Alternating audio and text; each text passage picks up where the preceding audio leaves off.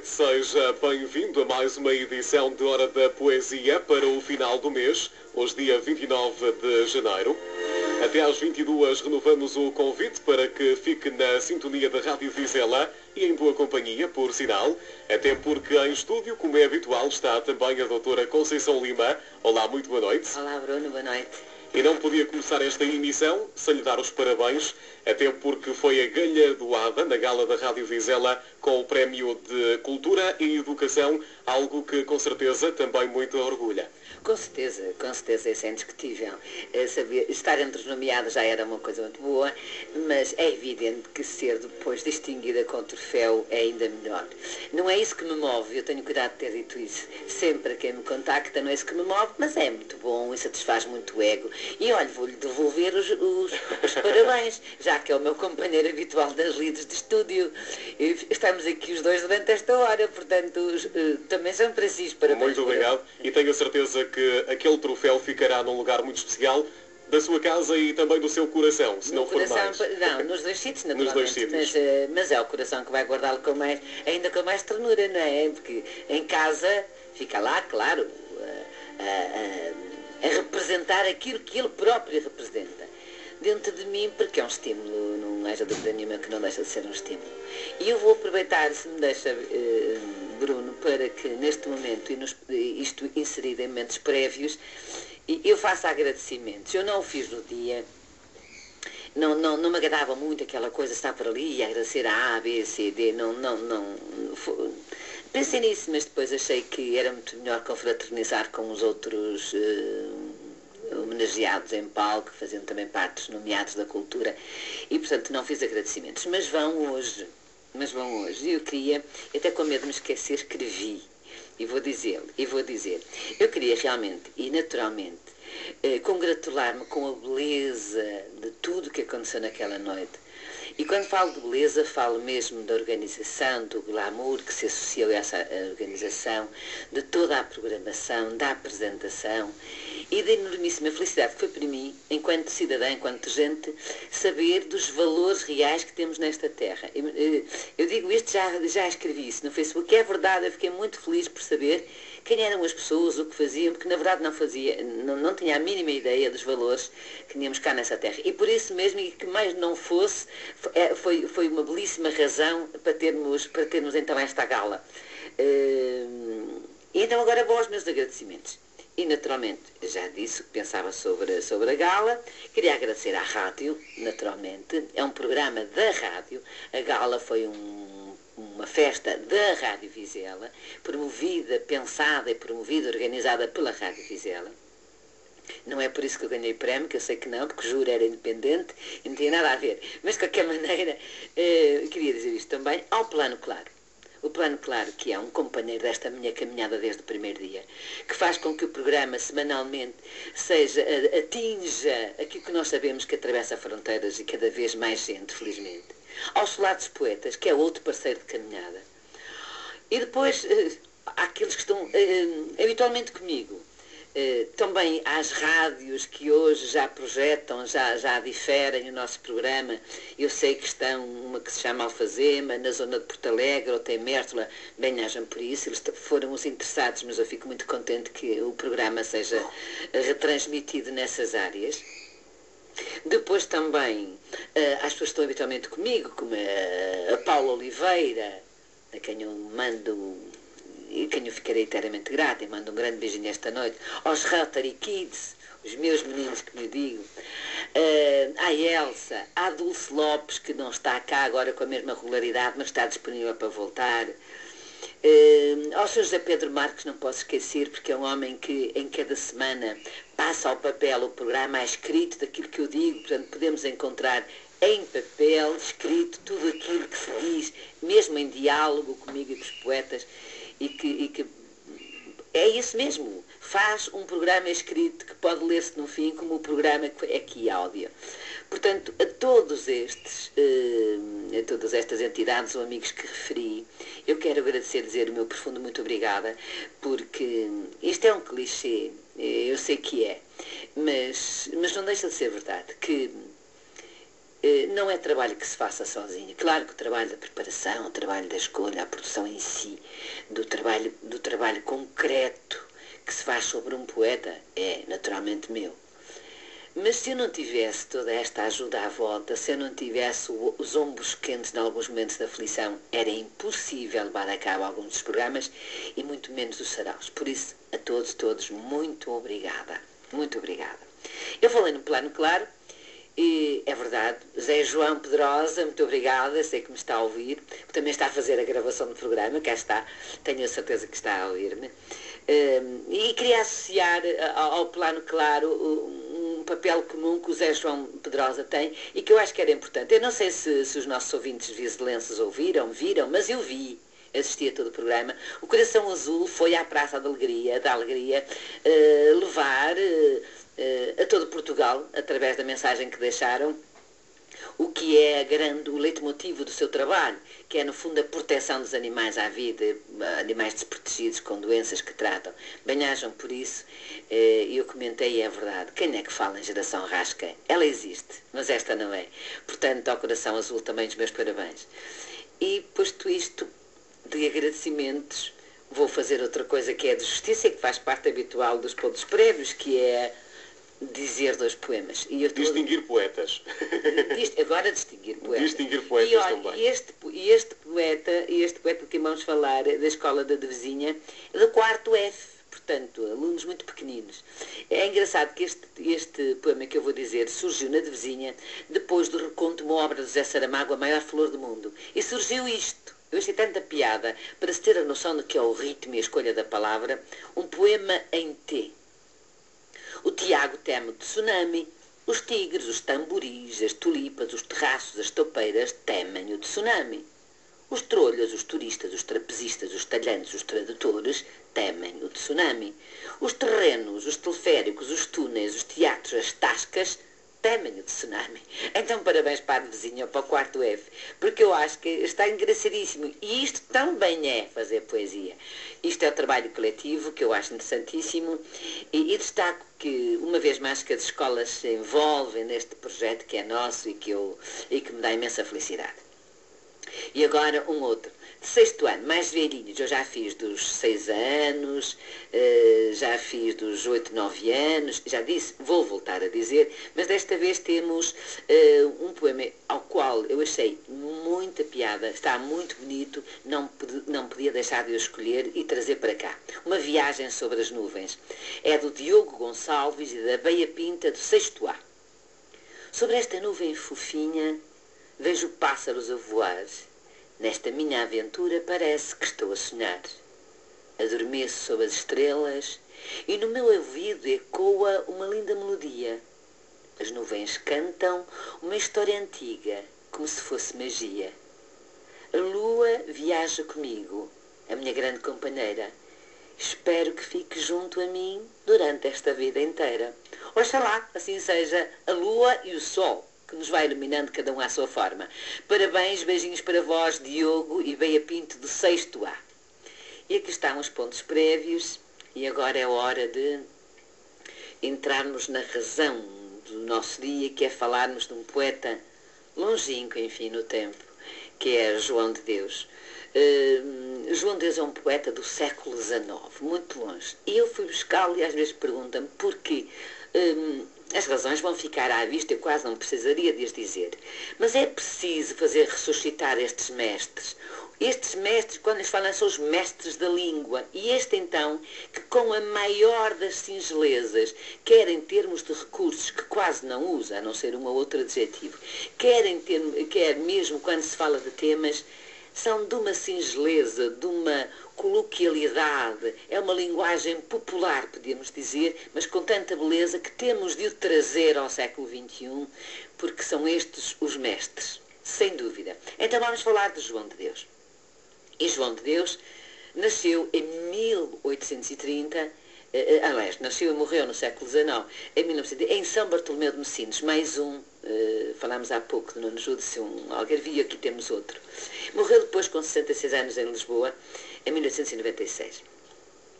Eu associei a escolha de Augusto Gil neste momento, e, e de quem falamos recentemente, porque hum, eles têm muitas coisas comuns. Uh, são os dois, uh, enfim, do mesmo período temporal.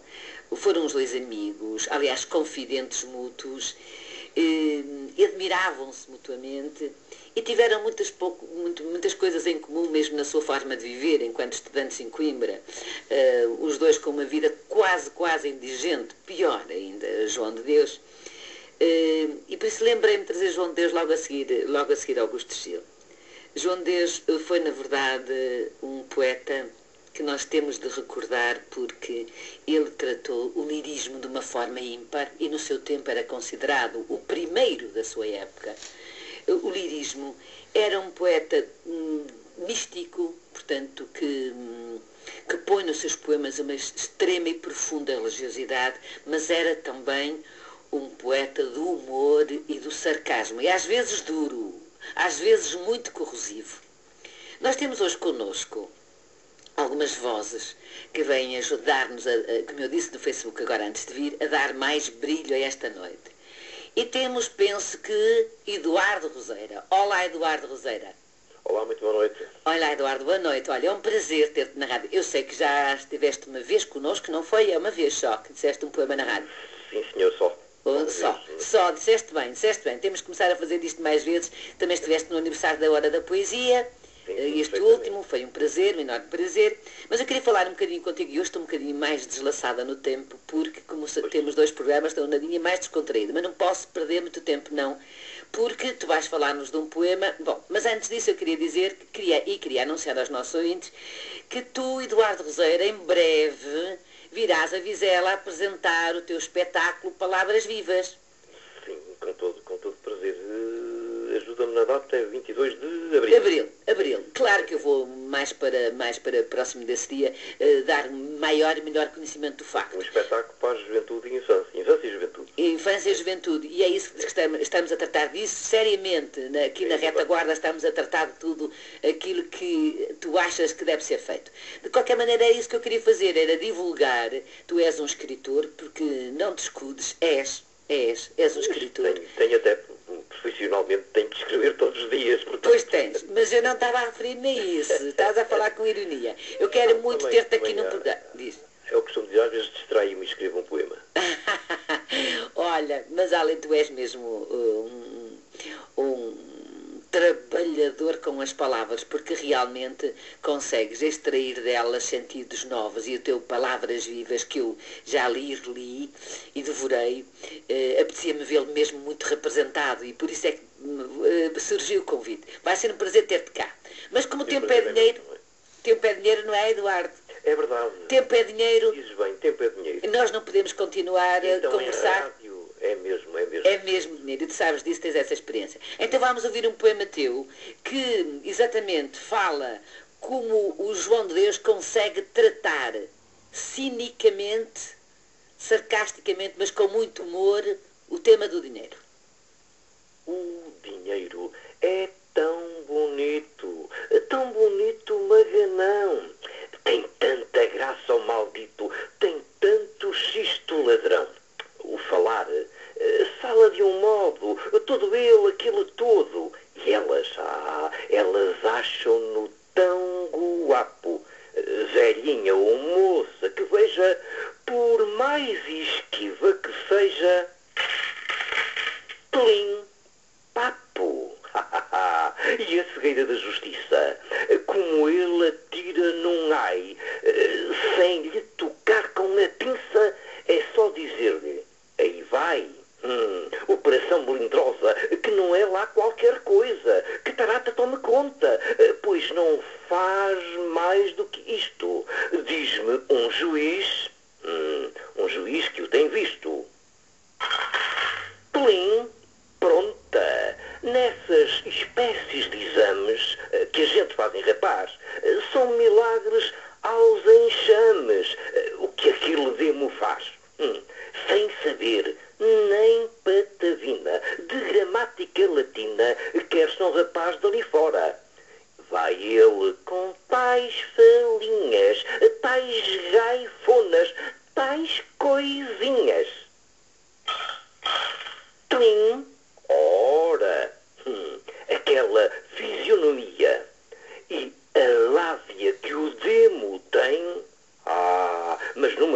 dia. Hum, aí é que é vê-lo bem, quando ele de grande gala entra um ministro na sala, aproveita a ocasião.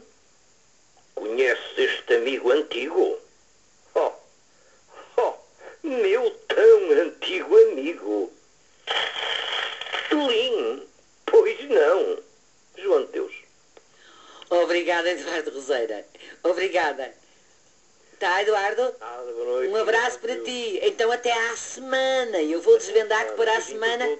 Obrigada. O auditório. Obrigada, Eduardo. E para a semana cá estaremos, porque vais dizer outro poema na segunda, na segunda metade do João de Deus, não é verdade? Com todo o gosto. E Beijinho, com todo o obrigado. gosto nosso também. Muito obrigada, obrigada, boa noite.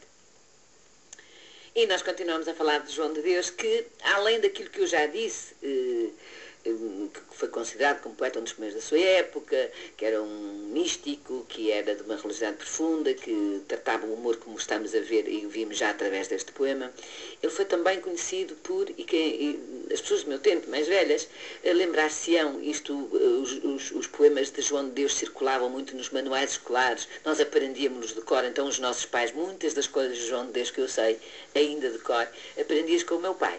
Eh, E muita gente acontecerá, com quem aconteceu rigorosamente a mesma coisa. Porque ele foi também um pedagogo.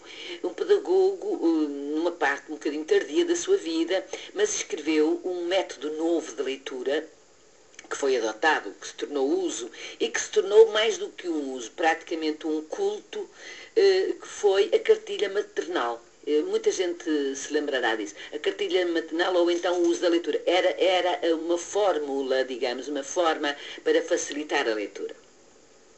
E eu vou dizer agora um poema daqueles que ficaram na memória de muita gente e que eu tenho a certeza que ao ouvi-lo muita gente saberá e se lembrará dele. E é isso que eu quero com este programa. É cá está, fazer a tal ressurreição dos grandes que venham até nós num dia como hoje. A vida. A vida é o dia de hoje. A vida é ai que mal soa. A vida é sombra que foge. A vida é nuvem que voa. A vida é sonho tão leve que se desfaz como a neve e como o fumo se esvai. A vida dura um momento, mais leve que o pensamento. A vida leva ao vento. A vida é folha que cai. A vida é flor na corrente, a vida é sopro suave, a vida é estrela cadente, voa mais leve que a ave. Nuvem que o vento nos ares, onda que o vento nos mares, uma após outra lançou.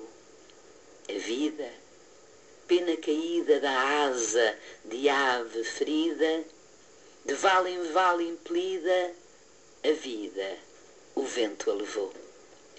Espero que muitos me tenham acompanhado e que se lembrem, oh, é verdade, estava no meu livro terceiro da quarta classe. Isso já não acontece hoje, infelizmente. Bom, então vamos continuar nós na- na- na- a falar um bocadinho da vida de, de João de Deus. Não que aconteça aquilo que muitas vezes acontece, que haja um decalque entre a obra e a vida. Não é o facto. Mas, de qualquer maneira, vamos conhecendo. Ele era filho de modestos proprietários, o pai era um pequeníssimo comerciante, sem qualquer possibilidade económica de dar continuidade aos, estudos depois da escola primária. Deixem-me dizer que é uma curiosidade, chamavam ao pai o Pedro Mal Governado. Ele tinha 14 filhos e o, e o João de Deus era o, foi o quarto desses 14 filhos. E esse pai era hum, realmente um, comerciante na médio, era um pequeníssimo comerciante, de, de- de, precisamente Messines, São Bartolomeu de Messines, e gostava de proporcionar aos filhos tudo o que podia. E o povo apelidou-o então de mal governado. Não pela vida, não porque ele gastasse mal gasto. Era exatamente por isso que é, que é engraçado focar. O que é que havia de se fazer com este menino que tinha tantas capacidades, que já revelava tanta inteligência, tanta, tanta hum, propensão para a escrita, já desde a escola primária? Pois o caminho habitual, que era ou ser ensinado na terra pelo, pá- pelo pároco, e foi o que aconteceu, mas como não chegava, eh, levá-lo para um seminário. E foi o que aconteceu. Eh, um seminário em Coimbra, e eu vamos continuar daqui a bocado, porque não é lá, ele não vai continuar no seminário, estamos mesmo a ver, ele vai para o seminário, assim aconteceu, na verdade, mas depois decidiu abandonar o seminário e ir estudar Direito para Coimbra. A Ana Albergaria vai-nos vai -nos dizer hoje um poema que chama Dúvida, e que se chama Dúvida, e que, que mostra e foi isto que eu pretendi com esta noite, que se vissem, que se visse, que, se que fosse permitido ver-se, através de cada um dos poemas que foi selecionado para esta noite, essa, esse aspecto da poesia, cada um diferente da poesia de, de João de Deus. Vejamos, ele foi o poeta da mulher e do amor, e neste caso, a dúvida com a Ana.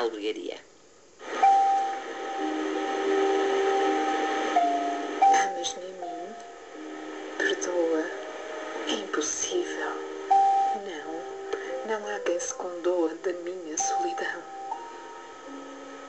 Como podia eu, triste, ah, inspirar-te amor, um dia que me viste, se é que me viste, flor. Tu, bela, fresca e linda, como a aurora, ou mais do que a aurora ainda, mal ouves os meus ais. Porque as aves só saltam de manhã, seus cânticos suaves, e tu és sua irmã. De noite apenas trino, triste rouxinol, toda a mais ave inclina o colo ao pôr do sol. Porquê? Porque é ditosa. Porquê? Porque é feliz. E a que sorri a rosa, ao mesmo a que sorris. À luz dourada e pura do astro criador. À noite, não, que é escura, causa-lhe a ela horror.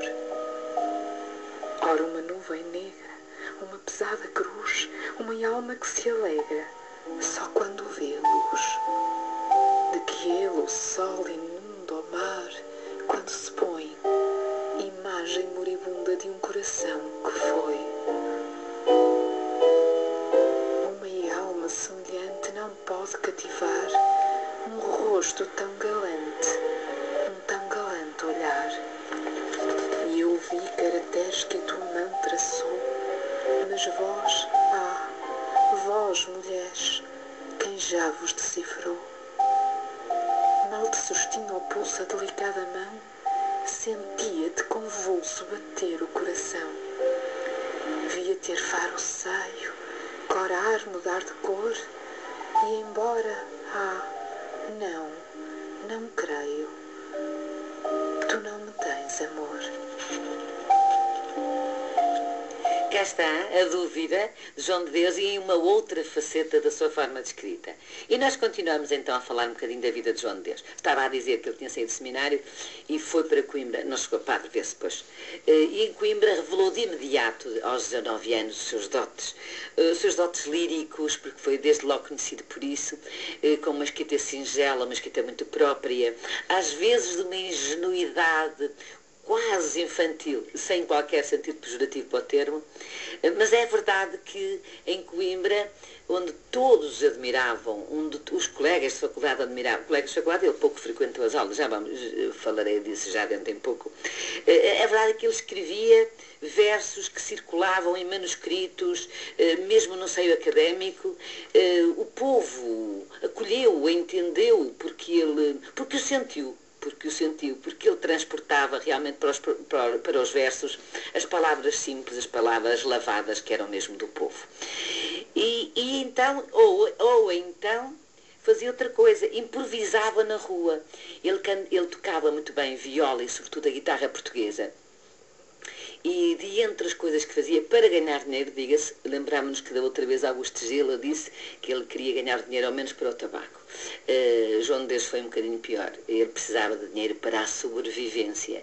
Então, os manuscritos que iam circulando e, e aquilo que ia fazendo uh, de improviso como repentista, e ele também o foi, muitas vezes, uh, granjeava-lhe algum dinheiro de rua e foi com isso que ele foi vivendo e sobrevivendo. Também não era um grande estudante, nunca foi, nunca lhe interessou muito, embora se tivesse formado, formou-se muito tempo depois de passar 10 anos, mas vamos já falar disso. Eh, nós vamos ter agora um outro poema que vai mostrar eh, a graça, o humor, o pueril, a singeleza, a beleza. Eh, e dito na voz de Maria Mamed, que os nossos ouvintes já conhecem, é indiscutível que se junta o bom ao melhor.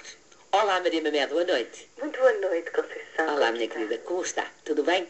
Tudo bem. Ótimo. Pronta para nos dizer o dia de anos? Vamos lá. Muita gente conhecerá, espero, eu espero que esta noite sirva para trazer ao de cima muitos desses poemas que andam perdidos no tempo. Exatamente. Vamos a isso.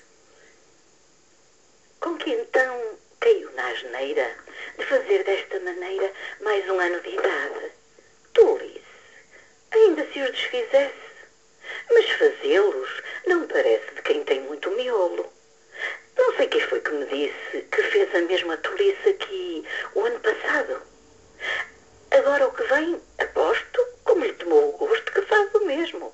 Coitado. Não faça tal, porque os anos que nos trazem, desenganos que fazem a gente velho. Faça outra coisa, que em suma, não fazer coisa nenhuma, também lhe não aconselho. Mas anos, não caia nessa.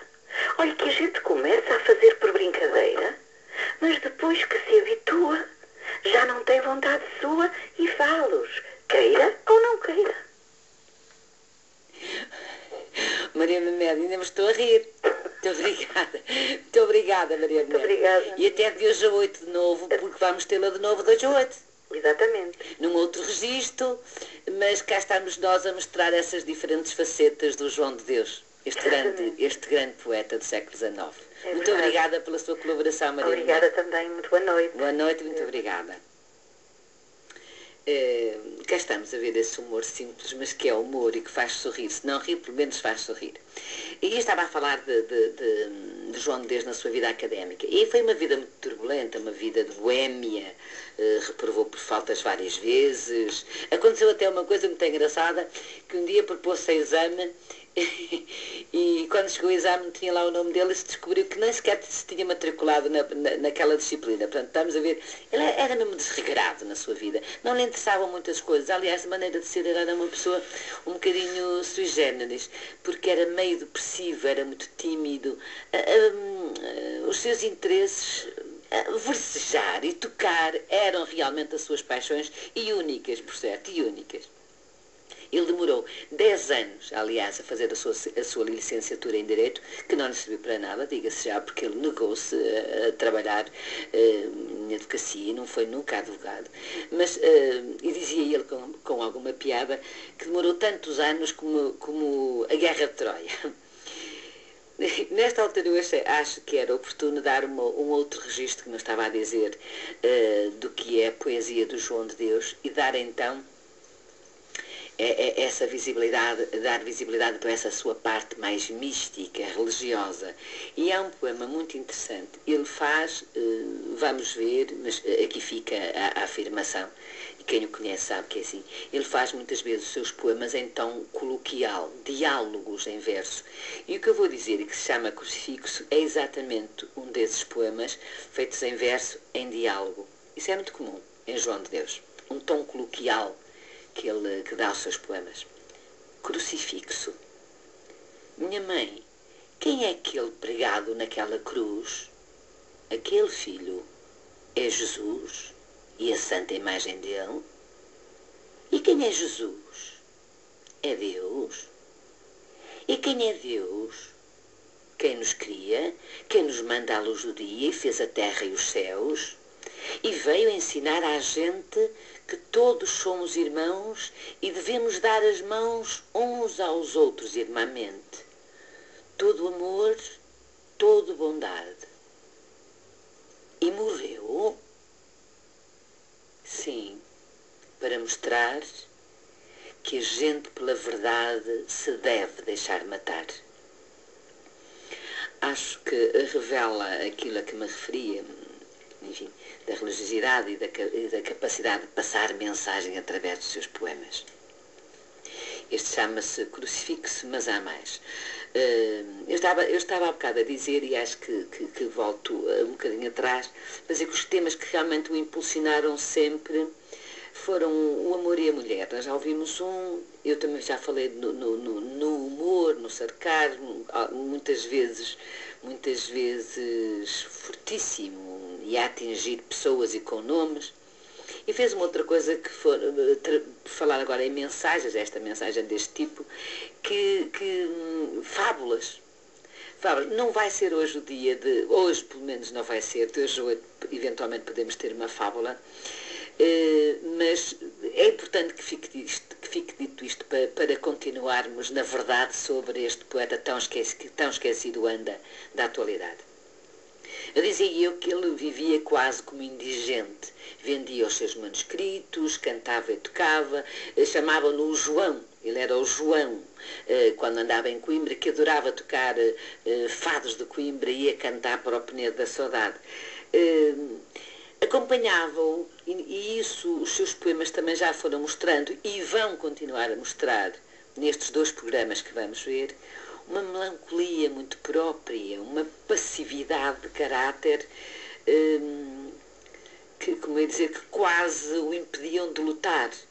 Ele hum, não trocava por nada a sua guitarra, hum, mas entretanto era uma pessoa muito humilde, muito afável, um bom conversador que todos os colegas adoravam, era um amante de tertúlias, era o tal João que gostava de cantar e tocar no Penedo da Saudade. E agora um outro poema, também de religiosidade, mas de amor em simultâneo. É um poema que chama Anjo da Guarda, mas que vão ver que fala de amor. Portanto, ele vai buscar o, o título à, à sua religiosidade, mas uh, fala de um amor. Anjo da guarda, quando a luz dos teus olhos contemplo, sinto a alma banhar-se-me em luz, com aquela que espalha num templo uma lâmpada ao pé de uma cruz. Sinto o que eu talvez nunca na infância pude ao colo materno sentir. Sinto Deus a mais curta distância.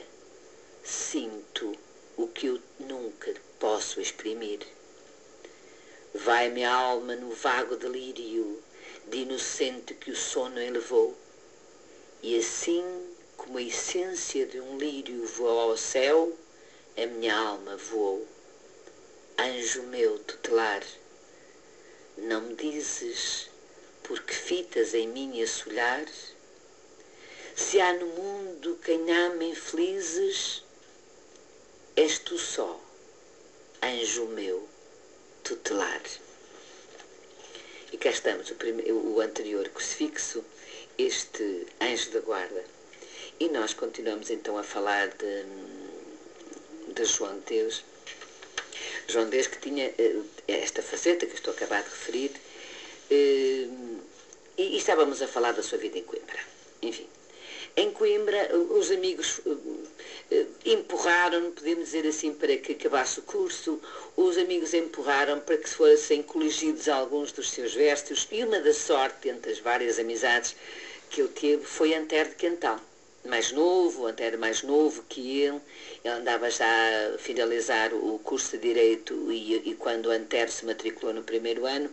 Mas a verdade é que Antero foi uma pessoa muitíssimo importante na vida, na vida de, de João de Deus porque foi uma força positiva. E ele que também se deixou tantas vezes, como já vimos, já, já vimos Antero Cantal, que acabou no suicídio também pela, pela dose de pessimismo e, e pela dose de, não só, também de doença, de depressão, como este também era meio depressivo, mas foi para ele, sim, um grande amigo, um grande amigo mesmo. Aliás, escreveu sobre ele um, um artigo elogiosíssimo em que o referia como o grande poeta e ao qual João de Deus também respondeu com um ou dois uh, sonetos que, de que não vamos falar agora. O que eu queria referir era um, um caso muito interessante que se passou em Coimbra, estavam justamente eh, Antero de Quental, numa discussão acesa com Carlos Lima Maia, eh, e discutiam entre si, na juventude, a existência de Deus, ou a possibilidade, a dúvida, a dúvida sobre a existência de Deus eh, e a possibilidade ou impossibilidade da imortalidade da alma. Era este o tema da discussão. Perto, eh, João de Deus, acompanhava, acompanhava a grande discussão que havia entre ambos e de repente, e quando eu digo de repente, é de repente, eh, houve-se levantar João de Deus e face ao problema, e eu repito, discutia-se, ambos discutiam eh, e se dividiam eh, nas opiniões sobre a existência de Deus, eh, um deles negava a imortalidade da alma, e então João de Deus levantou-se e de repente, como repentista mesmo de improviso, disse o seguinte: Só ter neste caminho incerto a dor e o pranto?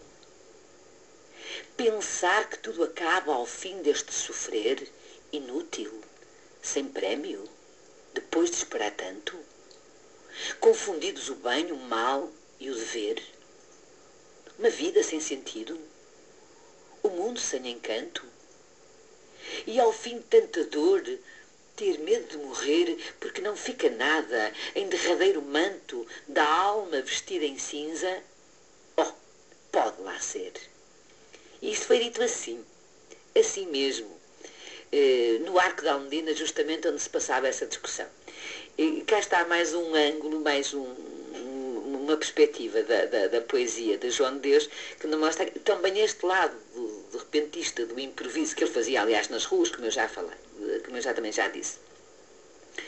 Um, Formou-se ao fim de 10 anos, já disse, pronto, e, e por lá fica, porque Coimbra ele rejeitava, negava-se, quer a abandonar Coimbra, que tanto adorava, mas também negava-se a exercer a advocacia. Realmente, como eu disse, continua a escrever, ele traduz, um, levava uma vida desprendidíssima de bens materiais, Claro que era obrigada a fazer alguns trabalhos para sobreviver. E há quem diga que ele esteve inclusivamente a costurar, foi obrigado a costurar a roupa de senhora para, para arranjar alguma maneira de sobreviver, não era de ter luxo.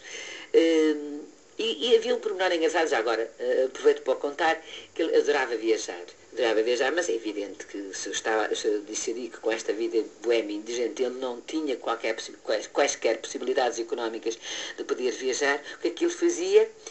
Eh, pagava o quarto e o tabaco com desenhos que oferecia e com poesias que dedicava, às vezes nominais, personalizando-as, e que oferecia às pessoas que o recebiam nas suas casas. Aliás, fez isso muito. Quem, quem ler, quem ler os seus livros, em particular uh, o Campo de Flores, o 2, porque há dois volumes, vê que ele fez imensas dedicatórias. Ele uh, escreveu por encomenda em relação a atos sociais, em relação a pedidos por mortes, por nascimentos, por casamentos, epitáfios, inclusivamente. E então era assim que ele sobrevivia. Foi sempre assim, aliás, não foi sempre, minto. Eh, até aqui foi assim e durante mais um tempo ainda é assim que ele sobreviverá. A vida vai dar a volta por uma outra razão que vai ser o casamento, mas para já é isso que temos para dizer. Na verdade, Coimbra, de Coimbra ele não queria arredar e então tinha de sujeitar-se.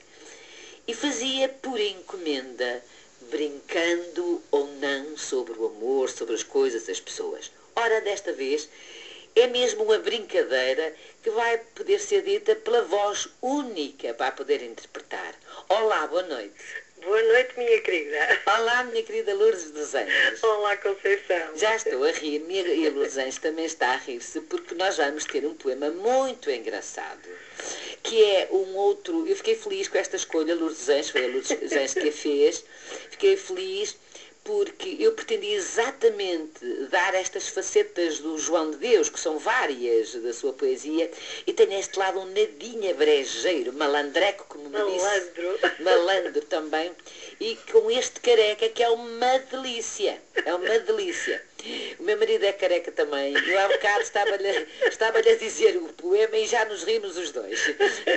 Agora é hora de ouvir a Lourdes dos Anjos. Podemos, Lourdes Vamos lá ver. Vamos, Vamos lá ver se eu consigo dar-lhe a graça que ele realmente tem, que é muito, muito engraçado. Antes de ouvir, já o ouvi, tenho a certeza que sim. uh, sobrenome verdadeiro, o de António Calado porque ninguém mais matreiro, mais sonso, mais disfarçado. Eh, namorou um ano inteiro a prima do Alcobia, sempre tão bem penteado que me afirmou ela um dia. Não tem na cabeça um pelo E nem pela fantasia me passou que tal cabelo fosse cabelo postiço.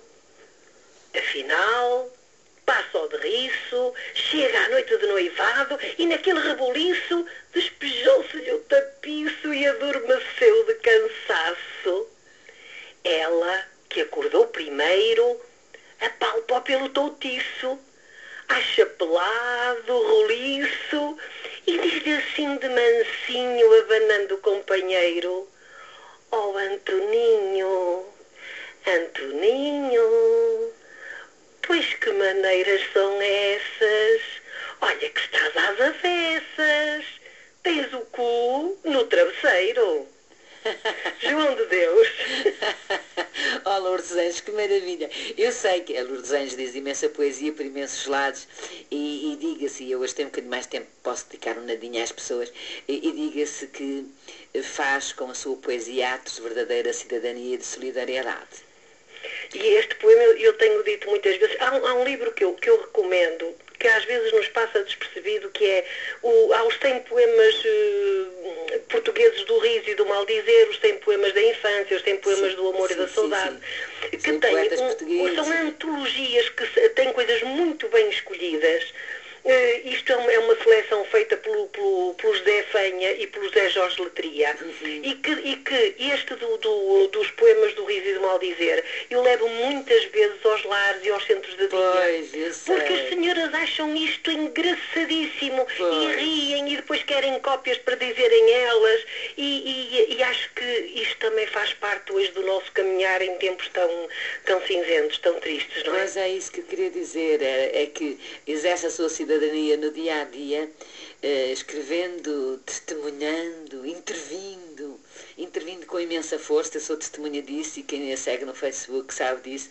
Não a sigo mais porque não posso, em termos de tempo, não sabe bem que estaria presente muitas vezes consigo noutros locais e, e disponibilizo-me sempre que, que, possa para estar, mas sei que dá muito do seu tempo àqueles que mais precisam realmente desse bocadinho de ânimo que pode trazer uma boa poesia, que traz atrás de si ou consigo esta dose de humor belíssima, mas este humor que é mesmo a João de Deus. É, aquele é. humor ingênuo.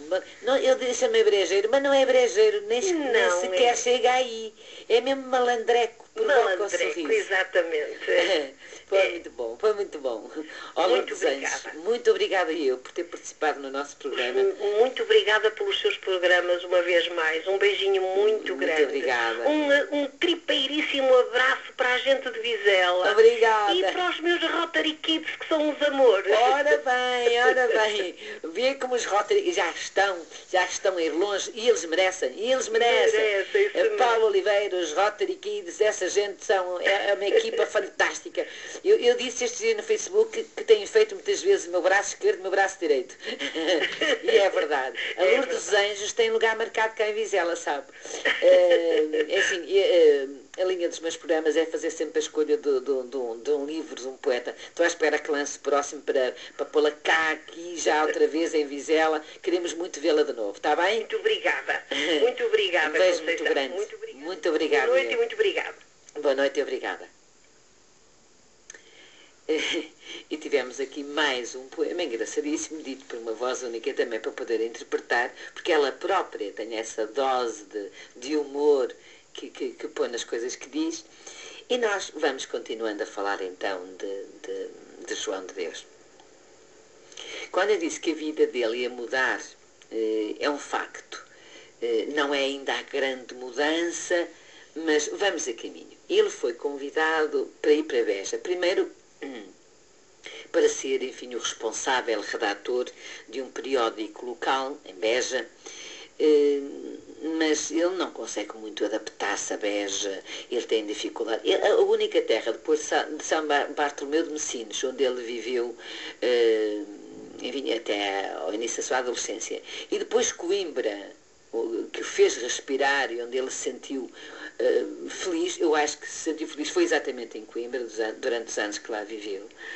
Ele não conseguiu afastar-se, estando, estando em Beja, ele voou, fugiu quase e foi para a sua terra natal e foi de novo para o Algarve. Aí retomou amizades, Aí também fez reflexo permanentemente, é evidente, da sua, da sua arte, da sua poesia. E essas amizades, os amigos que tinha largado, os amigos que foi fazendo, influenciaram-no a ser deputado. Porque é que eu falo nem será assim tão importante? É, portanto, não será, mas é muito curioso e acho que fala um bocadinho da personalidade do João de Deus que eu estou a tentar passar e que vamos tentar passar já uh, até ao próximo programa. Uh, ele foi realmente a votos com outro candidato para ser deputado. Houve um primeiro empate. Ele não queria mesmo ser deputado, eu acho, mas pronto, lá se deixou, lá se deixou arrastar pela opinião dos amigos e, e acabou por ganhar finalmente. E quando se viu confrontado com a obrigação de ter presença como deputado nas Cortes, ele deixou-nos este texto muito engraçado, que eu, um bocadinho, só um bocadinho. É, é para percebermos este João de Deus um bocadinho melhor. Que diz assim, que dias querem vocês que eu faça no Parlamento? Cantar? Recitar versos? Ou deve ser estreita a gaiola? Talvez sirva é para se dormir lá dentro, ou ouvir música dos outros pássaros. Eu dormirei com certeza. Portanto, reparem como ele encarava eh, o papel de deputado. E curiosamente, e já agora, eh, foi, não, podia ser de outra maneira, eh, mas a verdade é que nunca na vida ligou ao seu papel de deputado, foi obrigado a mudar para Lisboa, naturalmente. Não integrou nunca nenhuma comissão de trabalho, nunca usou a palavra e acabou por desistir, desiludido, desiludido de tudo que era, que era Parlamento, das intervenções dos seus colegas. A verdade é que ele próprio também não interveio em momento nenhum e dizia, dizia aos seus amigos com muita piada eu não nasci para canário. Isto relacionado com o texto que acabamos de ouvir. O que é que ele fazia então? Passava o seu tempo no Martim da Arcádia, logicamente. Martim da Arcada, é, eu já falei nisso várias vezes, Martim da Arcada ainda hoje existe em Lisboa. E, e, não há vez nenhuma que eu vá a Lisboa que não goste, que não tenha o gozo de me sentar onde se sentaram tantos poetas em tantas tertúlias. Acho que todos passaram por Lisboa, não há ninguém que não tenha passado por Martim da Arcada. Ele lá está, naquela belíssima praça que temos agora em frente ao Tejo. E lá está Martim da Arcada. E era aí que ele passava o seu tempo, em tertúlias, e sobrevivia, como eu disse, de encomendas. Uh, sobrevivia de encomendas, de traduções, de sermões, de hinos, de, de, de, de hinos que lhe eram encomendados para escolas, para cerimónias religiosas, como eu também já disse, uh, sobrevivia de uma coisa interessante, de rimas para reboçados, por exemplo. Rimas para reboçados, o que é interessante. E chegou eu também já disse, a cozer máquina para um grande armazém de chiado, cozer a máquina num grande armazém de chiado, disse, não há propriamente a certeza disso, que era roupa feminina das minhas, daquilo, daquilo que eu me apercebi. Eh, ele hum, era uma casa que fazia enxovais para ricos e se calhar eh, se calhar foi aí que ele trabalhou também para sobreviver, porque de resto, mesmo o resto do trabalho que fazia era sobreviver à custa do que fazia com a rima. Sempre. O nosso tempo está a acabar. Já não vai dar tempo, se calhar, uh, se calhar ainda vai dar tempo de dizer um poema pequenino. Então vou dizer-vos um poema pequenino, muito curtinho, vou escolher um que se chama Indiferença. Uh, cá está o tal tom coloquial, uh, em que parece-nos que há um tudo lá de lá. Ele está a dialogar em verso com alguém. Indiferença. Ora, diz-me a verdade. Tu já sentiste por mim uma sombra de saudade, de amor, de ciúme. Enfim, uma impressão que indicasse haver em teu coração fibra, corda que vibrasse a minha recordação? Parece, mas o contrário. Sim, o que devo supor é deserto e solitário no teu coração de amor. Não digo por outro, e vejo talvez a sorte de alguém mas o que eu sei, o que eu vejo, é que não me queres bem. este último poema desta noite, com que encerramos esta primeira parte de João de Deus. Vamos continuar a falar de João de Deus, vamos repetir as vozes que tivemos no programa e eventualmente acrescentando alguma outra que venha trazer ainda mais brilho à nossa noite. E eu, pela minha parte, despeço-me até de hoje a oito, em que ficaremos uma vez mais com João de Deus, a segunda parte de João de Deus. Então, muito boa noite e até à próxima.